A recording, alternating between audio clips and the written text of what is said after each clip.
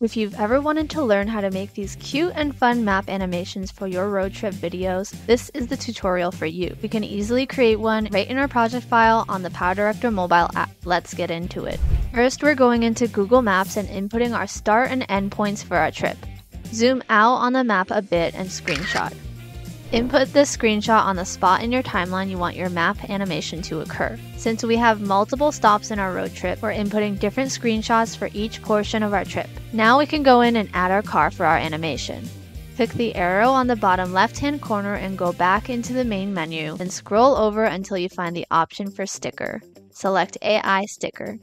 This AI sticker generator will let you type in a description to match your mode of transport. Since we're driving a black four-door sedan, that's what we will type in for our prompt. Then we will select 3D style and let the AI generate our car.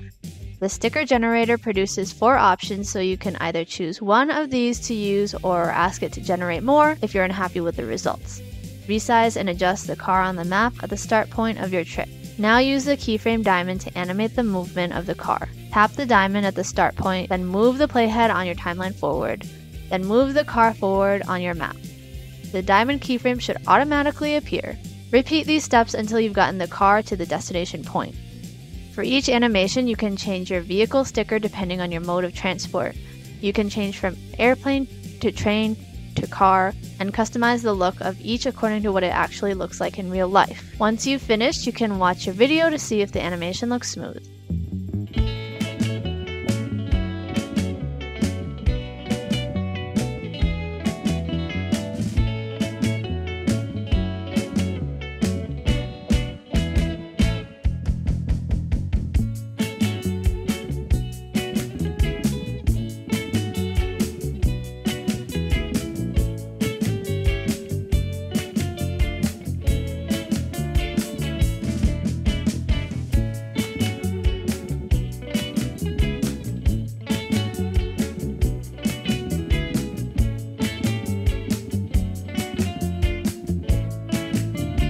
Show us your creations by hashtagging Made with and if you enjoy this tutorial, remember to subscribe to our channel, and we'll see you in the next one.